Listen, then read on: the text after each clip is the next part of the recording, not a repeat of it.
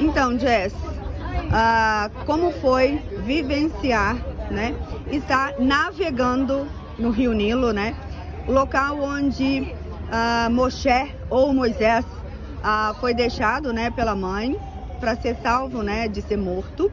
E também durante toda a história bíblica do Velho Testamento a gente ouviu falar do Rio Nilo, né? É. Então, qual é a experiência de navegar por esse rio santo e tão importante aqui para o Egito?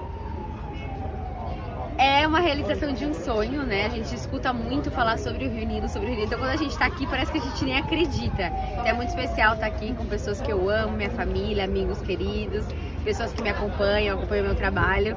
Maravilhoso, uma experiência única.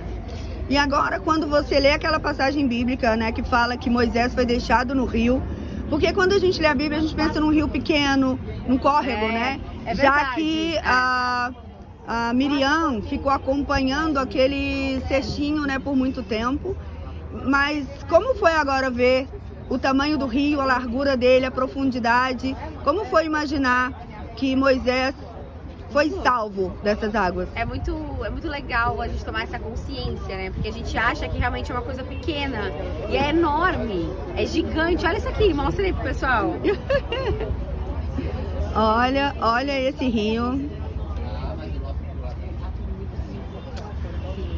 E, e assim, eu acho que é, é o cuidado e a grandeza de Deus. A gente consegue ver o cuidado e a grandeza do- de Deus de direcionar aquele cestinho para aquela mulher em específico, onde ele seria treinado, educado e futuramente salvaria a- a- o povo, né, do Senhor.